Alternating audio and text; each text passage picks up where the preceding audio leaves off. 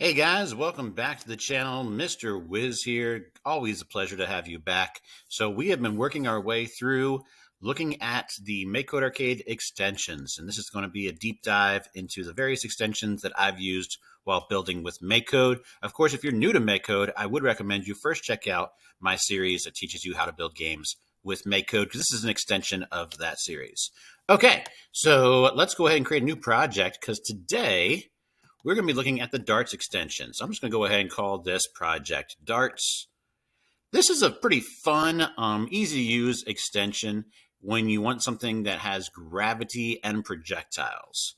So you will find it by going to extensions, and it's this one right here that just says Darts, a sprite with path projection.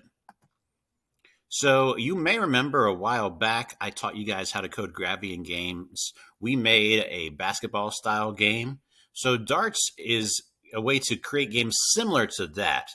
But the nice thing about it is that a lot of the math, a lot of the science has already been calculated into it for you.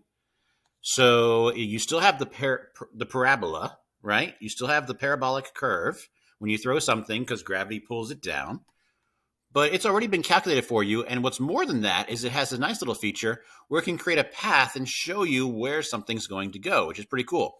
So once you add the darts extension, you'll see it now in the toolbox here. It just says darts. And these are the blocks you'll find. There's not a lot of blocks here because there's not a lot to this extension. This one right here creates the dart.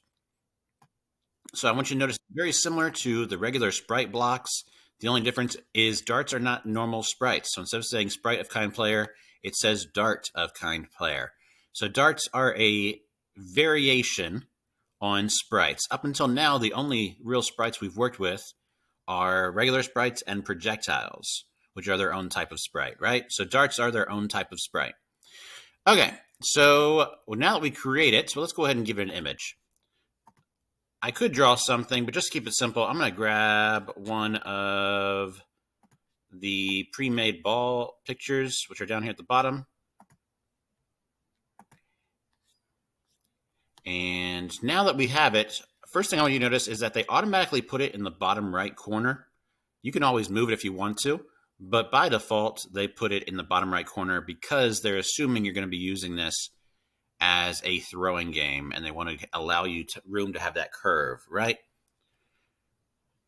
If you click on the plus sign here, you can change its position. So if you want it to start somewhere else, you can change the, the numbers right here. But normally it will start in the bottom left corner. All right, the other blocks. Control with arrow keys, stop, throw, trace. Trace is a big one, so let's just go ahead and throw that on right now. Trace is really what distinguishes this from if you were to build your own throwing game using what I taught you guys in that gravity lesson. So I want you to notice that white dot. That is the trace that they're talking about. This is showing the path that the ball is going to go on. So right now, it's just kind of going to go off screen. But we can change that in a minute here.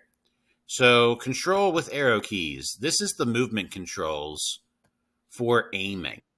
So this is a, a little bit different. In the program that I showed you, there wasn't really much aiming involved.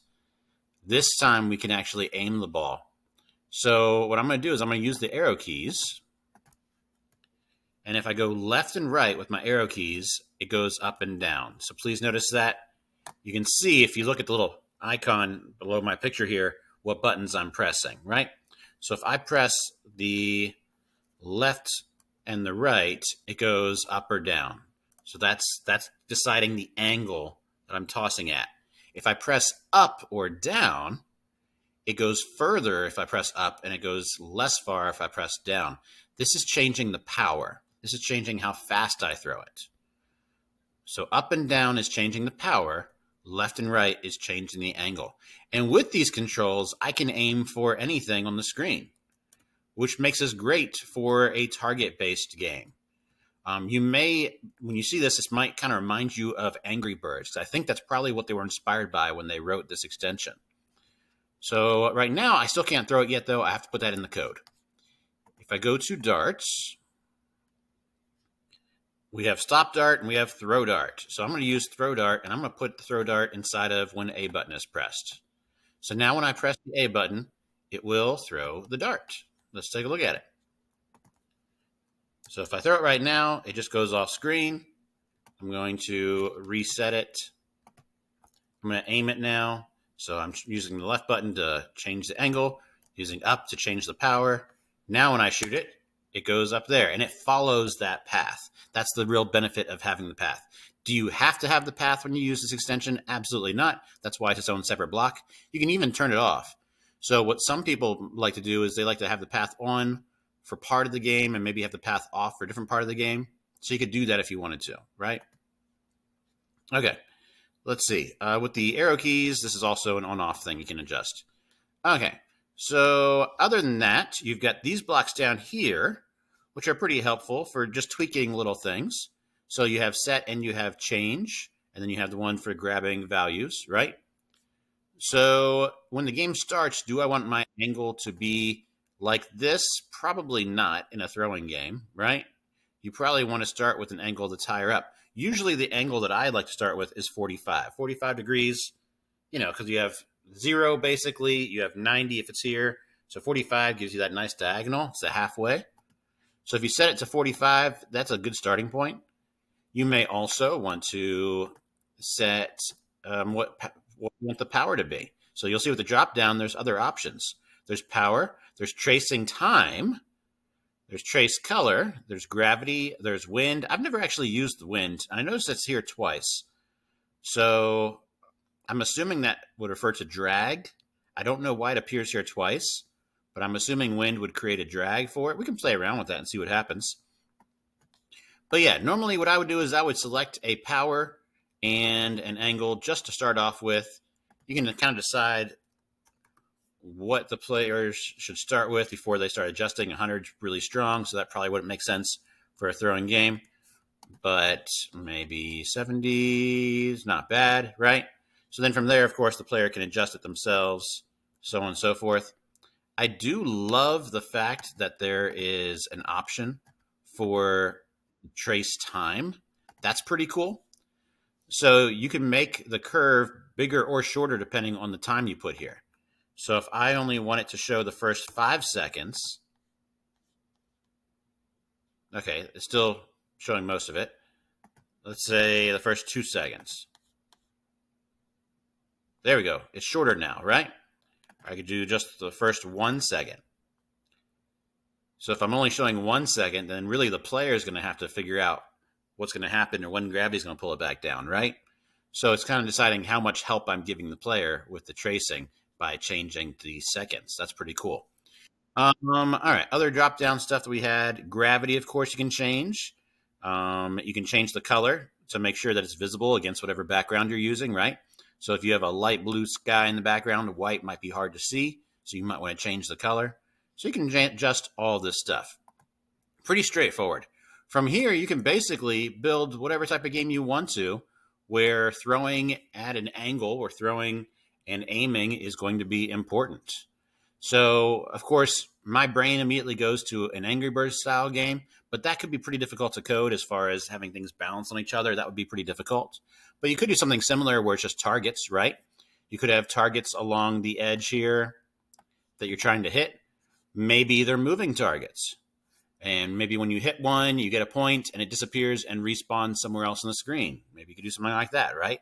So you could do that using skills that I've already taught you guys as far as having um, random position changes and all that stuff is all things that we've learned in previous lessons. So this would be a great way to turn this into a game. Um, I would suggest if you were to use something like this, stop dart isn't really super important, but you could use it if you want to.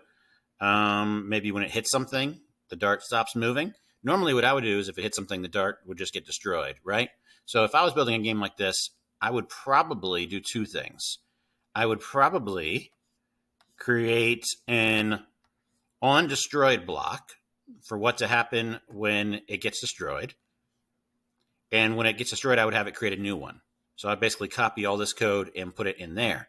Or to make my program a little bit easier, I might just create a function for that. I can call the function create ball, put all this stuff in the function, and then have that function happen at the beginning of the game, and then also when the ball gets destroyed. And I could even give the ball, the dart, an auto destroy. So auto destroy, I don't know, remember if we've talked about this or not. Auto destroy is something that projectiles have, but technically the darts are not projectiles. So I would have to give it auto destroy if I wanted to have that. So basically what auto destroy means is that if it leaves the screen, it will automatically get destroyed and that can save up memory, especially if you have multiple darts in the game. But in this case, it will allow you to automatically go again because a new ball will get created. So I'll show you what I mean. It leaves the screen, and there's a new one, right? And now if I wanted to, I could put lives, you know, for the player, depending on what they're doing. You know, maybe they only have so many throws they're allowed to do. There's a lot that you could do with this as a starter program.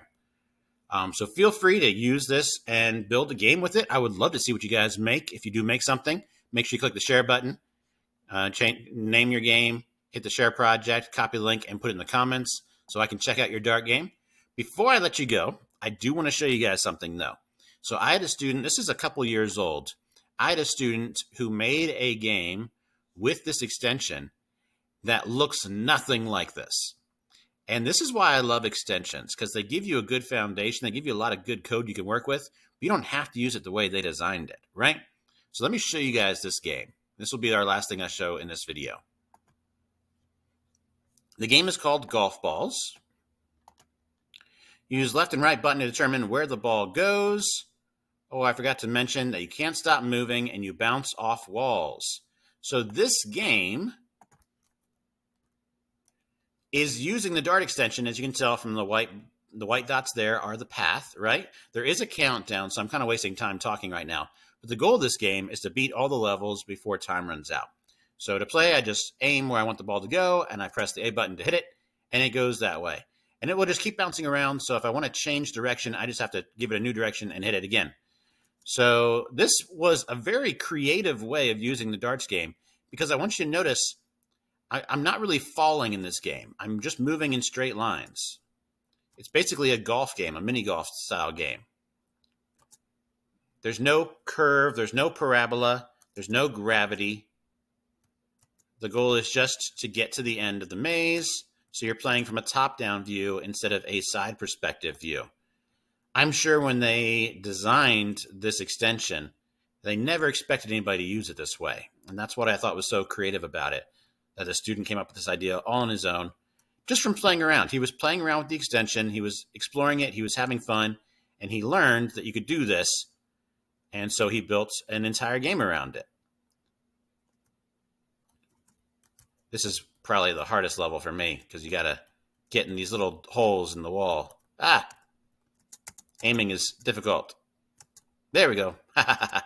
so yeah, I won't finish the game, but I will put a link to it in the description of this video. So if you want to play Golf Ballz for yourself and see if you can beat all the levels before time runs out, have fun. Um, so yeah, I hope you learned something new in this video. If you learned something new, please click that like button. If you're not already subscribed, please subscribe. And if you've made something you want to show off, please share those links in the comments where I can see them and people can play your games. All right. Until next time, have a great rest of your day.